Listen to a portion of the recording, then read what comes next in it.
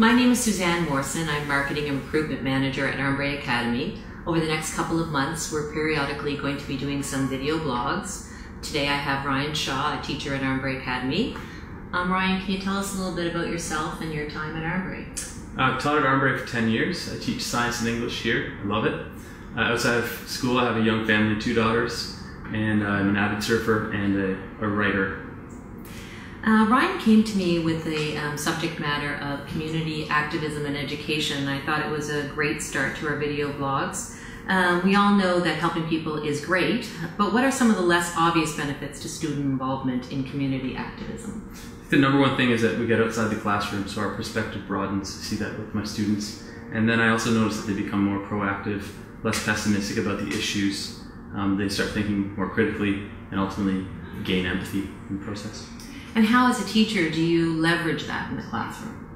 Um, it's all about ownership. So we decide on the, the community action together as a committee, and from there we delegate to strengths. So some students are, are more confident speaking publicly, others make posters, uh, write slogans, or plan events. So we all, we all pull together for a cause. And what are some examples of Armbrae's involvement in community activism? Uh, we've had a yard sale to raise money for the Ecology Action Center.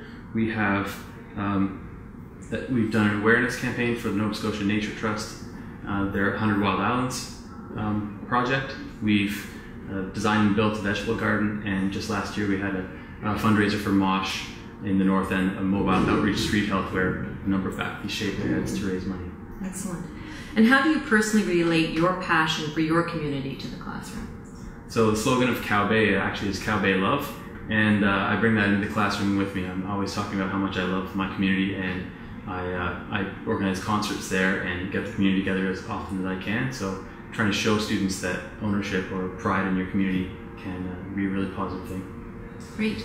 Thanks so much.